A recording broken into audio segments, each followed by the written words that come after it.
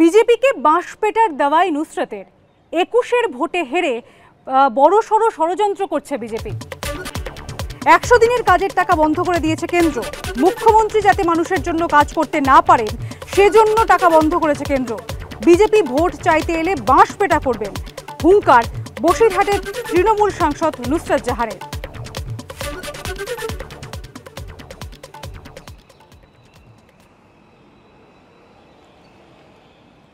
এই দেখুন একুশে কি বলেছিল বড় বড় কথা?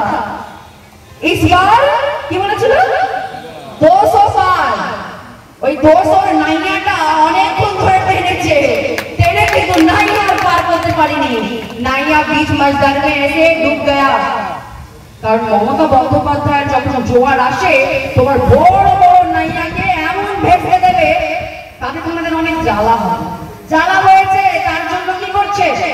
বড় করে আবার ষড়যন্ত্র করছে। কি করছে? মানুষের টাকা আটকে দিয়েছে। বাংলার জন্য কোটি কোটি টাকা আসার কথা। কেন্দ্র সরকার থেকে যার জন্য মানুষের কাজ দিদি করতে না পারে সেই ষড়যন্ত্রটা ওরা করছে। কি করেছে? একশো দিনের টাকা বন্ধ করে দিয়েছে। গরিব মানুষের পেটে লাথি মারা। আমরা যখন গিয়ে ওখানে চাই আমাদের মানুষের জন্য, তখন আমাদের কোনো কথা তো কানে নেয় না কিচ্ছু দেয় না বাংলার মানুষকে। আরে ভাই, বাংলার মানুষ তোমায় ভোট দেবে কেন? তুমি কি করেছ? তুমি করেছ নাকি বাংলার মানুষের জন্য? একটাও ভোট পাবে না। বসিরহাটের মানুষ তোমাকে বড় একটা কি বার করবেন কি? ওই বাঁশ দিয়ে ধাপা ঢাপ ধাপা ঢাপ খাবে। পঞ্চায়েতে প্রমাণ দেবে আবার। আবার প্রমাণ দেবে। কংগ্রেস আসুক। আর বিজেপি আসুক। আসলে আমরা ডাবল ইঞ্জিনের সরকারকে বিশ্বাস করি না। নুসরত জাহানের এই বক্তব্যের পরিপ্রেক্ষিতে কি বলেছেন দিলীপ ঘোষ? শুনব। যে বলছে সে কোথায় থাকে? সে কি রাজনীতি করে নাকি সে সিনেমা করে? তার ব্যক্তিগত জীবন মানুষের কি ধারণা আছে? রাজনীতিতে এসেছেন এমপি হয়েছেন না পার্লামেন্টে থাকেন না নিজের নির্বাচন ক্ষেত্রে থাকেন। উনি যে আছেন সেটা জানাবার জন্য এই ধরনের উল্টাপাল্টা কথা বলতে হয়। কি কথা কি মানায় তাও বোঝেন না।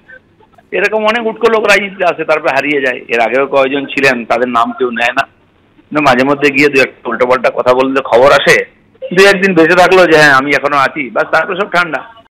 এই দেখুন, একুশে কি বলেছিল বড় বড় কথা? ইসবার কি বলেছিল?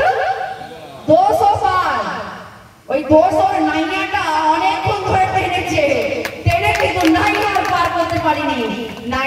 মাস ধরে এসে ডুব গয়া।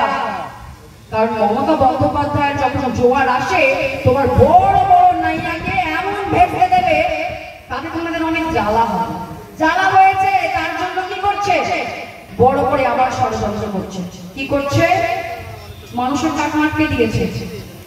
বাংলার জন্য কোটি কোটি টাকা আসার কথা।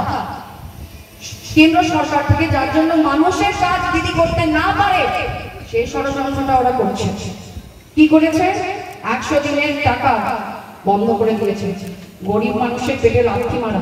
আমরা যখন গিয়ে ওখানে চাই আমাদের মানুষের জন্য, তখন আমাদের কোনো কথা তো কানে নেয় না। কিচ্ছু দেয় না বাংলার মানুষকে। আরে ভাই, বাংলার মানুষ তোমায় ভোট দেবে কেন? তুমি কি করেছ? তুমি করেছ নাকি বাংলার মানুষের জন্য?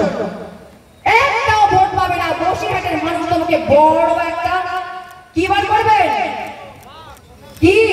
ওই বাঁশ দিয়ে ধাপা ঢাপ ধাপা ঢাপ খাবে পঞ্চায়েতে প্রমাণ দেবে, আবার আবার প্রমাণ দেবে।